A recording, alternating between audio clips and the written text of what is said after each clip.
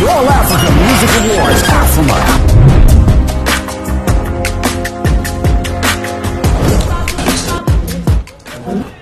Are you saying she's dancing? long, long the process of literally hijacking we don't know about it, throwing them in there because we know about it. What did you submit for? What kind of machine is it? It's pop it and pop, uh, where you can hear the quality of voice and you hear that this person is an R&B artist. Yeah, you can tell they are vocally R&B, but they then have to switch it up and go Afro-pop.